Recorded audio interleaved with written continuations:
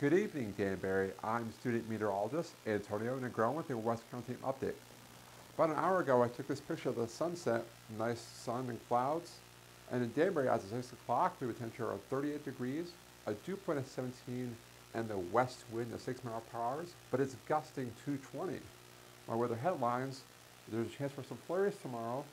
We're looking for a cold weekend in store, and is there possible storm for Sunday into Monday, looking at my five-day forecast.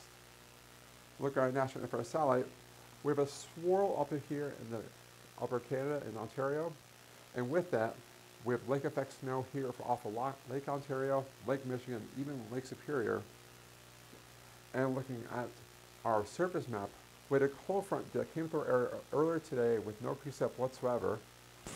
We had a high, this high pressure here in the northern plains will bring us the coldest weather for this weekend, and this low pressure off the west coast will be some of the energy that will come through our area first Sunday into Monday. But coming back to Danbury, tonight we'll blow a temperature 24 degrees, a light west, west wind of 5 to 10 miles per hour. It'll be chilly and partly cloudy.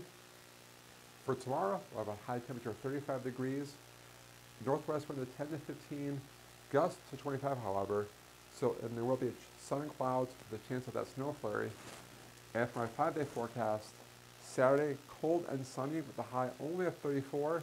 Now I want to pay attention to the low temperatures. It'll be a low of only 19 and then 20. So you definitely want to make sure by now you have those hat and gloves and scarves ready if you're doing any nighttime activities.